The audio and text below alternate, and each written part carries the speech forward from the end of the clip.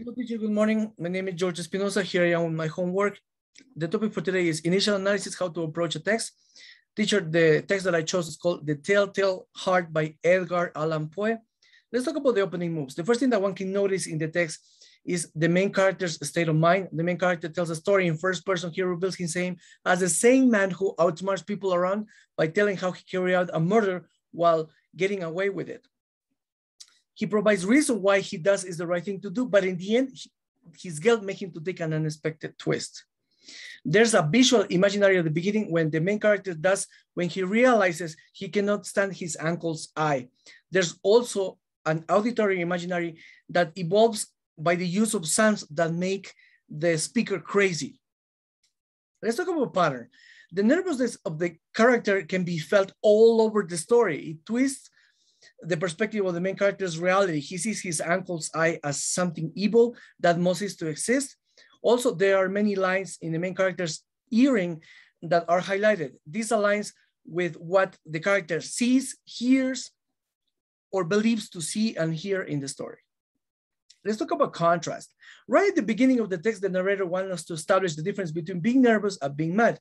These two concepts are interwoven as the story develops. It can be seen at the beginning of the story. True, nervous, very, very dreadful nervous.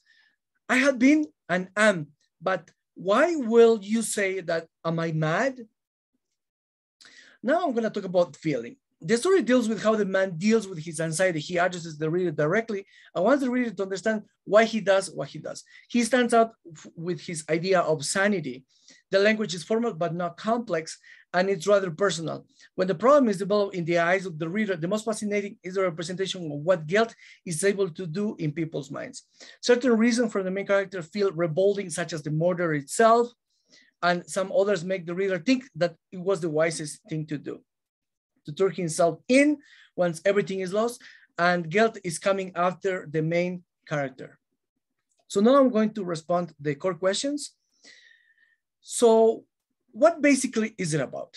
It's about a man whose sick anxiety levels draws him to kill his uncle because of his eye, and the narrator considers himself evil.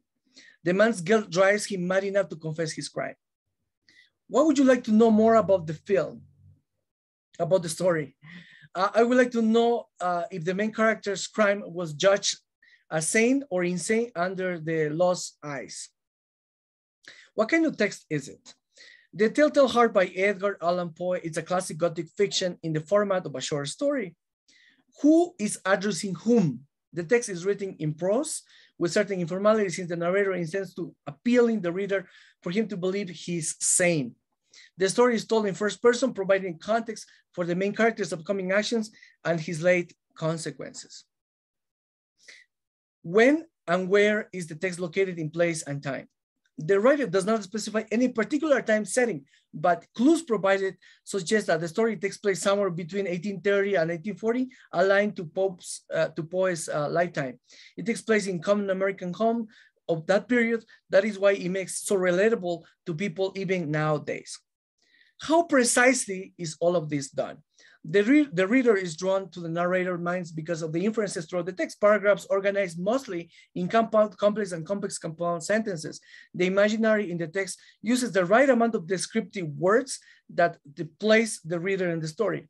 There are ellipses from time to time that lead to powerful inferences, such as the one that takes place when the hidden body was calling the narrator. Why does it seem to have been written and why do you respond as you do?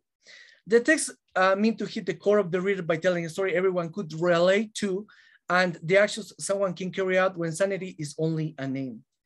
I am provoked to think that we all could be the man, a functional insane person under extreme stress.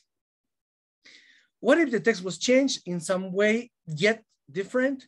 If the story was written from the point of view of a woman, maybe she could uh, have gotten away with her uncle's murder. The anxiety lies within, but women are more cold-hearted. What what if the story was told in the moment as if the narrator was tweeting his next moves in an account that nobody knows about? Later on, the story would have been shared by tubers such as Dross, Tronan, Trotanas um, in Latin America. Okay, So that'll be all for today, teacher. I hope you like my video and I look forward to um, the next homework. Bye for now.